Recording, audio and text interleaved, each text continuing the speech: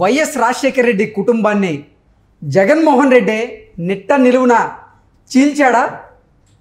దానికి విజయమ్మే సాక్ష్యమా అంటే అవుననే సమాధానం ఇస్తుంది ఆంధ్రప్రదేశ్ కాంగ్రెస్ పార్టీ అధ్యక్షురాలు వైఎస్ షర్మిల. ఇక ఈ అంశానికి సంబంధించి మనతో మాట్లాడేందుకు ప్రముఖ సీనియర్ జర్నలిస్ట్ ప్రముఖ రాజకీయ విశ్లేషకులు సిఎస్ రావు గారు మనతో ఉన్నారు. ఆయనతో మాట్లాడదాం. Sir hi sir. Hello Krishna. Sir YSR కుటుంబాన్ని నిట్ట నిలువున చీల్చింది జగన్మోహన్ రెడ్డి. అందుకు సాక్ష్యం విజయమ్మ మా కుటుంబం అంటూ కూడా వైఎస్ షర్మిల గారు జగన్మోహన్ రెడ్డి మీద కొన్ని షాకింగ్ కమెంట్స్ అయితే చేశారు. ఏంటి సార్? ఆ కమెంట్స్ వెనక ఆవిడ ఉద్దేశం ఏంటి అంటే ఏం చెప్తారు?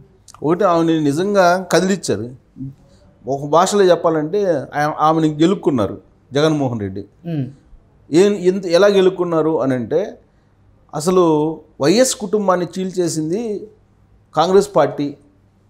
ఆంధ్రప్రదేశ్ రాష్ట్రాన్ని విడగొట్టినటువంటి కాంగ్రెస్ పార్టీ Hmm. ఇప్పుడు వైఎస్ ఫ్యామిలీని కూడా చీల్చేసింది ఆ కాంగ్రెస్ పార్టీయే విభజించి పాలించు అనేటువంటి సూత్రాన్ని అవలంబిస్తుంది. పైన దేవుడు చూస్తున్నాడు దేవుడు ఏ రోజుకైనా సరే కాంగ్రెస్ పార్టీని శిక్షిస్తుంది అనేటువంటి ఒక శపథం ఆయన చేయడం జరిగింది. జగన్మోహన్ రెడ్డి. ఎక్కడ చేశాడు? తిరుపతిలో జరిగినటువంటి ఎడ్యుకేషన్ సబ్మిట్లో ఇండియా టుడేకి ఇచ్చినటువంటి ఇంటర్వ్యూలో ఈ మాటలు చెప్పారు. అసలు ఎవరు చీల్చారు వైఎస్ కుటుంబాన్ని అనే దాని మీద ఇప్పుడు చర్చ జరుగుతుంది. చర్చ జరుగుతున్నటువంటి క్రమంలో దానికి సమాధానం షర్మిల తనదైనటువంటి శైలిలో పదునైనటువంటి పదజాలంతో అమ్మ తోడు వైఎస్ ఫ్యామిలీని చీల్చింది జగన్మోహన్ రెడ్డి. ఆయనే చేసుకున్నాడు అంత కుటుంబం చీలిపోవడానికి కారణం జగన్మోహన్ రెడ్డి. దానికి సాక్ష్యం విజయమ్మ దేవుడు దేవుడు సాక్షిగా విజయమ్మ సాక్షిగా మా కుటుంబం జగన్మోహన్ రెడ్డి కారణంగానే కుటుంబం చీలిపోయింది ఉమ్, అనేటువంటి వ్యాఖ్య ఆమె చేయడం జరిగింది. అంటే ఎంత ఘాటైనటువంటి పదజాలను ఉపయోగించిందంటే జగనన్న వల్లే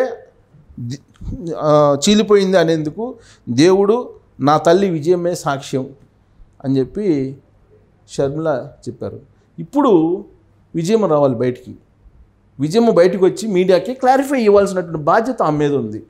ఎందుకంటే కాంగ్రెస్ పార్టీ తన కుటుంబాన్ని చీల్చేసిందని చెప్పి జగన్మోహన్ రెడ్డి చెప్పారు.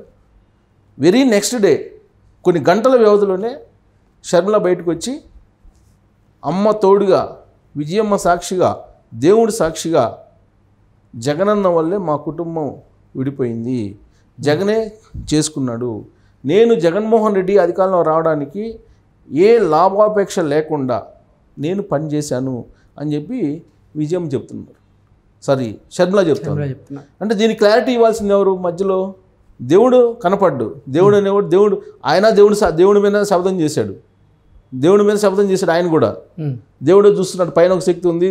దేవుడు ఏ రోజుకైనా సరే కాంగ్రెస్ని అంతం చేస్తుంది అని చెప్పి ఆయన ఒక శాపం పెట్టాడు. శపథం కాదు శాపం. శాపం పెట్టాడు ఆయన. ఈమె కూడా దేవుడి మీద సాక్ష్యం చేసి ఆయన చెప్పాడు కనిపించినటువంటి దేవుడు. కాబట్టి కనిపించేటువంటి విజయమ్మ వీళ్ళిద్దరి మధ్య ఏం జరిగింది అనేది చెప్పాలి. రాష్ట్ర ప్రజలకు చెప్పాలి. తెలుగు సమాజానికి చెప్పాలి. చెప్పాల్సిన బాధ్యత విజయం మీద ఉంది. లేదంటే జగన్ చెప్పింది నిజమా? లేకపోతే శర్మిల చెప్పింది నిజమా అని చెప్పి చర్చ అయితే మొదలైంది కదా? ఈ చర్చ చిలువలు పలువులుగా బయటికి వెళ్ళకుండా ఉండాలంటే విజయమ్మ మీడియా ముందుకు వచ్చి అసలు ఏం జరిగింది? ఎవరు చీల్చేశారు రాజశేఖర రెడ్డి కుటుంబాన్ని అనేది పూసగుచ్చినట్టు చెప్పాల్సినటువంటి బాధ్యత ఖచ్చితంగా ఆమె మీద ఉంది. ఇద్దరు కూడా ఆమె మీద పెట్టారు. అంటే దేవుడి మీద పెట్టాడు ఎవరు? జగను. వాళ్ళ అమ్మ మీద దేవుడి మీద ఇద్దరి మీద పెట్టింది షర్మిల. కాబట్టి దేవుడిని వచ్చేసి మీరు చెప్పండి సాక్ష్యం అని చెప్పి ఎవరు అడగలేం కాబట్టి కనపడినటువంటి దేవుడు కాబట్టి విజయం వచ్చి సాక్ష్యం చెప్పాలి. లేదంటే ఈ చర్చ ఇలానే జరుగుతుంది. ఒకటి. రెండు అసలు మన విశ్లేషణ చేసుకుంటే అసలు రాజశేఖర రెడ్డి కుటుంబాన్ని చీల్చింది ఎవరు అనేటువంటి ఒక విశ్లేషణ కనుక చేసుకుంటే కనుక కుటుంబం ఎప్పుడు విడిపోయింది? రాజశేఖర రెడ్డి కుటుంబం విడిపోవడానికి కారణం ఏంటి? రాజశేఖర రెడ్డి చనిపోయిన తర్వాత జరిగినటువంటి పరిణామాలు. రాజశేఖర రెడ్డి పౌరాలగుట్లో హెలికాప్టర్ ప్రమాదంలో చనిపోయినప్పుడు ఆయన భౌతిక కాయాన్ని అక్కడి నుంచి తరలించక ముందే జగన్మోహన్ రెడ్డి లోటస్ పాయింట్లో ఏం చేశారు? హైదరాబాద్ కేంద్రంగా చేసుకొని సంతకాలని సేకరించేటువంటి పనిలో పడ్డారు ముఖ్యమంత్రి కావడానికి. ఇది అందరికీ తెలిసినటువంటి విషయమేగా. కేవీపీ ప్రత్యక్ష సాక్షిగా కేవీపీ సాక్షి కాంగ్రెస్ పార్టీ వాళ్ళందరూ సాక్షి ఇప్పుడు బొత్స సత్యనారాయణ మంత్రిగా ఉన్నాడు కదా, ఆయన కూడా ప్రత్యక్ష సాక్షి. ఓకే. సో ఆ రోజు సంతకాల సేకరణలో ఉన్నటువంటి జగన్మోహన్ రెడ్డి పౌరాలగుట్లో హెలికాప్టర్ ప్రమాదంలో చనిపోయినటువంటి రాజశేఖర రెడ్డి భౌతిక గాయాన్ని చూడటానికి కూడా ఆసక్తి చూపకుండా ఇక్కడ సంతకాల సేకరణలో బిజీగా ఉన్నారు ఆయన. ఆ క్రమంలో ఆ రోజు ఉన్నటువంటి వాళ్ళ బాబాయి ఎదురు తిరిగారు. ఎవరు? వివేకానంద రెడ్డి. వివేకానంద రెడ్డి ఎదురు తిరిగి కాంగ్రెస్ పార్టీలో ఉన్నారు. కాంగ్రెస్ పార్టీని వీడి ఈయన వెళ్ళిపోయారు బయటికి. అంతే కదా జరిగింది. సో ఆ తర్వాత జరిగినటువంటి పరిణామాలు ఓదార్పు యాత్ర ఓదార్పు యాత్రకు అనుమతించకపోవడం సోనియా గాంధీ. మీరు ఓదార్పు యాత్రకి ఒక పెద్ద ర్యాలీగా వెళ్ళటం ఏంటి? మీటింగ్లు పెట్టడం ఏంటి చనిపోయినటువంటి కుటుంబాల పరామర్శకి మీరు అందరిని పిలిపించుకుని మాట్లాడండి లేదంటే మీరు ఒంటరిగా పోయి మాట్లాడండి. జనాలతో ఒక పెద్ద ర్యాలీగా వెళ్ళి బహిరంగ సభలు పెట్టి ఓదార్పు ఏంటిది పార్టీకి నష్టం జరుగుతుందని చెప్పి ఆమె ఇది పద్ధతి కాదని చెప్పి వారించింది. జగన్మోహన్ రెడ్డిని. జగన్మోహన్ రెడ్డి బయట ప్రజలకి ఏం చెప్పారు? చనిపోయినటువంటి కుటుంబాలని చనిపోయినటువంటి కుటుంబాల ఆందోళనతో ఆవేదనతో ఉంటే వాళ్ళని పరామర్శించడానికి వాళ్ళని ఓదార్చడానికి వాళ్ళకు ఊరట కలిగించడానికి నేను వెళ్తుంటే నన్ను వెళ్ళనివ్వలేదు. ఇంతకన్నా ఇంకా ఇంతకన్నా దారుణం ఉందా అనేటువంటి యాంగిల్లో ఆ రోజున పబ్లిక్లోకి తీసుకెళ్ళారు. సోనియా గాంధీని ఒక విలన్గా చూపించారు ఆయన. చూపించి ఆయన కాంగ్రెస్ పార్టీ నుంచి బయటకు వచ్చి కొత్త పార్టీ పెట్టుకున్నాడు. కొత్త పార్టీ పెట్టుకొని కాంగ్రెస్ పార్టీ ఎమ్మెల్యేలుగా ఉన్నటువంటి వాళ్ళని సుమారుగా ఇరవై ఏడు మందినో ఇరవై ఐదు మందినో చీల్చేశారు. చీల్చి ఆ తర్వాత ఉప ఎన్నికలకు వెళ్ళారు. ఉప ఎన్నికలకు వెళ్ళారు. అది చీ వచ్చిన వాళ్ళలో ఒక ఇద్దరు తప్ప మిగతా వాళ్ళందరూ గెలిచారు. ఆ తర్వాత ఆయన పార్టీ కొనసాగుతూ ఉంది తర్వాత రాష్ట్రం విడిపోయింది. అసలు రాష్ట్రాన్ని విడదీసింది కాంగ్రెస్ పార్టీ అని చెప్పి చెప్తున్నాడు ఆయన. ఫస్ట్ అదే కదా రాష్ట్రాన్ని విడదీసినటువంటి కాంగ్రెస్ పార్టీ కుటుంబాలను కూడా విడదీస్తుంది అని చెప్పి కదా ఆయన అంది. రాష్ట్రాన్ని విడదీయటానికి అంగీకరించినటువంటి పార్టీ ఏదైనా ఉందా? ఒక్క సిపిఎం మినహా. ఒక సిపిఎం మినహా అన్ని పార్టీలు అంగీకరించి ఇంక్లూడింగ్ వైఎస్ఆర్ కాంగ్రెస్ పార్టీ. ఆ రోజు ఉన్నటువంటి జగన్మోహన్ రెడ్డి కొత్త పార్టీ. రాజ్యాంగంలోని నిబంధన సిక్స్ ప్రకారం రాష్ట్రాన్ని విడదీయచ్చు అని చెప్పి ఒక సూచన చేసింది జగన్మోహన్ రెడ్డి. చాలా ఈజీగా రాష్ట్రాన్ని విడదీసేయచ్చు. నిబంధన సిక్స్ ప్రకారం అని చెప్పి ఆయన ఆ రోజు చెప్పారు. ప్రణబ్ ముఖర్జీ కమిటీకి అందరూ లెటర్లు ఇచ్చారు. అన్ని పార్టీలకు సంబంధించి లెటర్లు ఇచ్చారు. కాంగ్రెస్ పార్టీ మీదనే ఎందుకు ఈ అపవాదుని మోపుతున్నారు? కాంగ్రెస్ పార్టీ వల్లే రాష్ట్రం విడిపోయిందని చెప్పి ఎందుకు చెప్తున్నారు? మరి ఎందుకు లెటర్లు ఇచ్చారు వీళ్ళందరూ? బీజేపీ విడగొట్టలేదా?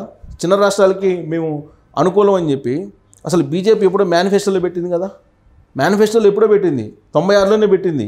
కాకినాడ తీర్మానంలోనే పెట్టింది. ఫస్ట్ అసలు రాజేసిందే బీజేపీ. చిన్న రాష్ట్రాల్లో రాష్ట్రాలను విడగొట్టాలి అనేటువంటి కాన్సెప్ట్ని తీసుకొచ్చిందే బీజేపీ. కానీ ఉత్తరప్రదేశ్ని మాత్రం అన్ని రాష్ట్రాల కన్నా పెద్ద రాష్ట్రాన్ని మాత్రం విడగొట్టలే ఆ రోజు మాయావతి నాలుగు రాష్ట్రాలకు విభజించని అసెంబ్లీలో తీర్మానం చేసినప్పటికీ ఉత్తరప్రదేశ్ని మాత్రం విమర్శ విభజించలే ఇప్పటివరకు. కానీ ఆంధ్రప్రదేశ్ని మాత్రం విడ విడదీశారు ఆంధ్రప్రదేశ్ని మాత్రం విడదీశారు ఆ విడదీసిన దాంట్లో రాజకీయ కుట్ర ఉంది ఉత్తర భారతదేశానికి సంబంధించిన నేతల కుట్ర ఉందని చెప్పి ఇవాళకి కూడా వినిపిస్తూ ఉంది. ఆ రోజున రాష్ట్రాన్ని ఎప్పుడో విడ అరవై తొమ్మిదిలోనే విడగొట్టాలంటే ఇందిరాగాంధీ విడగొట్టకుండా ఆపేసింది అని చెప్పి చరిత్ర చెప్తోంది. ఇప్పుడు కేవలం కాంగ్రెస్ పార్టీ విడగొట్టింది అని చెప్పి జగన్మోహన్ రెడ్డి చెప్తున్నారు కదా. ఈయన సమైక్యాంధ్ర కోసం ఏం చేశారు సమైక్యాంధ్రకి? చివరి నిమిషంలో విడగొట్టే సమయంలో ఉద్యమాలు చేశారు. అంతే కదా ఈయన చేసింది. సో ఆ రోజున రాష్ట్రాన్ని ఆ రోజున అసెంబ్లీని కూల్చేయడానికి అవకాశం ఉంది.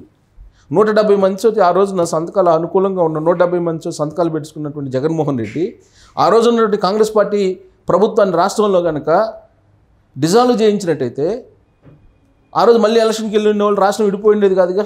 నువ్వు డిజాల్వ్ చేయకుండా మా నాన్న కష్టాల కష్టం మీద ఏర్పడినటువంటి ప్రభుత్వాన్ని నేను కోల్చను అని చెప్పి నువ్వు దా ఆ ప్రభుత్వాన్ని కంటిన్యూ చేసి ఆ ప్రభుత్వం రాష్ట్ర విభజన బిల్లుని పెడితే సపోర్ట్ చేసి పంపించారు కదా. సపోర్ట్ చేసి పంపించినప్పుడు ఏం చేస్తున్నారు ఈ పార్టీ? నీకు ఆ ప్రభుత్వాన్ని డిజాల్వ్ చేయడానికి కానీ లేదంటే ఆ ప్రభుత్వాన్ని కోల్చడానికి కానీ అవకాశం ఉంది కదా. రాష్ట్రాన్ని విడదీసిన విడదీస్తున్నారని చెప్పి నీకు బాధ ఉంటే నిజంగా ఈ ప్రభుత్వాన్ని గద్దెదించవచ్చు కదా? ఈ ప్రభుత్వాన్ని గద్దెదించేటువంటి సత్తా శక్తి నీకుంది కదా ఆ రోజు? సంతకాలు రాజశేఖర రెడ్డి చనిపోగానే సంతకాలు సేకరించావు కదా సీఎం కావడానికి. నీకు మద్దతు ఉంది కదా? డెబ్బై మంది ఎమ్మెల్యేలు మద్దతు ఉంది కదా ఆ రోజున? ఆల్మోస్ట్ డెబ్బై మంది ఉంది మద్దతు. ఆయన ఏం చెప్తే అది వినేవాళ్ళు. లేదు రాష్ట్రం డిజాల్వ్ చేద్దాం అసెంబ్లీని అని చెప్పి రండి అని అంటే ఇంకా ఎక్కువ వచ్చే అవకాశం ఉంది ఆ రోజు. ఆ రోజు ఇంకా ఎక్కువ వచ్చే అవకాశం ఉంది. మరి నువ్వు ఎందుకు వెళ్ళలేదు? ఇన్ని చేసి రాజ్యాంగంలో ఉండేటువంటి నిబంధన ఆరు ప్రకారం. ఆర్టికల్ ఆరు ప్రకారం కాన్స్టిట్యూషన్లో ఉండేటువంటి ఆర్టికల్ ఆరు ప్రకారం ఈజీగా రాష్ట్రాన్ని విడగొట్టచ్చు. ఎందుకు దీన్ని ఇంత రాద్ధాంతం చేశారని చెప్పి ఆయనే చెప్పారు వైఎస్ఆర్ కాంగ్రెస్ పార్టీ వాళ్ళు. మరి ఇంత క్లూ ఇచ్చి రాష్ట్రాన్ని విడగొట్టిన తర్వాత రాష్ట్రం విడగొట్టినటువంటి పాపాన్ని ఒక కాంగ్రెస్ పార్టీ మీద ఎందుకు వేస్తున్నారు? జగన్మోహన్ రెడ్డి అయిపోయింది. రాష్ట్రాన్ని విడగొట్టినటువంటి కాంగ్రెస్ పార్టీ ఇప్పుడు కుటుంబాన్ని విడదీస్తుంది కుటుంబాన్ని చీల్చేస్తుంది అని అని చెప్పి ఆయన చెప్తున్నారు.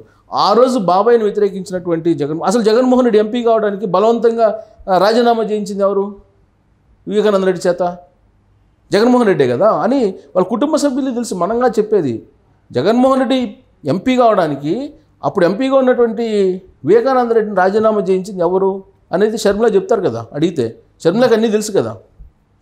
ఆ రోజు నుంచి స్టార్ట్ అయింది. ఆ తర్వాత ఈయన మీద ఆయన పోటీ చేయించు కాంగ్రెస్ పార్టీ పోటీ కాంగ్రెస్ పార్టీ పోటీ చేయించలా. నేనే పోటీ చేస్తానని చెప్పి ఆయన వెళ్ళాడు ఆ రోజున. వాళ్ళ బాబాయ్ పోటీ చేశాడు. ఇప్పుడు వాళ్ళ బాబాయ్ లేడు. మరి వాళ్ళ బాబాయ్ మర్డర్కి కారణం ఎవరు? అనేది సిబిఐ చెప్తుంది కదా. మరి కుటుంబంలో కలహాలు పెట్టింది ఎవరు? చంపేదాకా చం మా బాబాయ్ని గొడ్డలపోటు తోటి చంపేదాకా గొడ్డలతోటి చంపేదాకా కాంగ్రెస్ పార్టీ చేసిందా? సో ఇవన్నీ వాస్తవాలు. వాస్తవాలు ఎవరికి తెలియదు అనుకుంటే ఎలా? ఇప్పుడు షర్మిల చెప్తుంది వాస్తవాలన్నీ ఇవన్నీ కూడా బయటికి తీస్తున్నారు. ఇంకా గొడ్డలపూడి దాకా రాలా షర్ షర్మిల పీసీసీ అధ్యక్షురాలు అయిన తర్వాత గొడ్డలపూడి దాకా రాలా? వస్తారు. ఇప్పుడే కదా ఇప్పుడు ఆల్మోస్ట్ గోదావరి జిల్లాల దాకా వచ్చినట్టున్నారు. ఇప్పుడు మళ్ళీ కడప కర్నూలు ఎంటర్ అయితే అప్పుడు వస్తుంది గొడ్డలపూడి వ్యవహారం. ఇప్పుడు స్టార్టింగ్లో ఉంది. సో కాబట్టి ఇప్పుడు సా ఆమె అమ్మ తోడు అని చెప్పి సాక్ష్యం చెప్పారు కాబట్టి అమ్మ తోడు అని చెప్పి విజయమ్మ మీద ప్రమాణం చేసి చీల్చడానికి అసలు కాంగ్రెస్ పార్టీకి సంబంధం లేదు. కుటుంబం మా కుటుంబం చీలిపోవడానికి కాంగ్రెస్ పార్టీకి సంబంధం లేదు. మా కుటుంబాన్ని చీల్చేసింది జగన్ అన్న అని చెప్పి క్లియర్గా చెప్తుంది కదా షర్మిల. అవునా కాదని చెప్పి విజయం చెప్పాలి. చెప్పకపోతే ఆ కుటుంబం మొత్తాన్ని తెలుగు ప్రజలు దోషిగా చూసేటువంటి అవకాశం ఉంది. అసలు ఎవరిది అబద్ధం ఎవరిది నిజం అనేది ఈ చర్చ అయితే ఆగదు ఇంతటితోటి. ఇది కంటిన్యూ అవుతుంది ఇక రాబోయే రోజుల్లో ఇదే చర్చ తెలుగు రాష్ట్రాల్లో కొనసాగేటువంటి అవకాశం ఉంది. కాబట్టి దీన్ని ఏది నిజం ఏది అబద్ధం అనేది విజయమ్మ చెప్పాల్సినటువంటి బాధ్యత ఆమె మీద గురుతర బాధ్యత ఒక తల్లిగా బాధ్యత కూడా ఉంది కాబట్టి ఆమె వస్తుందని చెప్పి మనం ఆశిద్దాం. Okay. Okay sir. Thank you so much. Thank you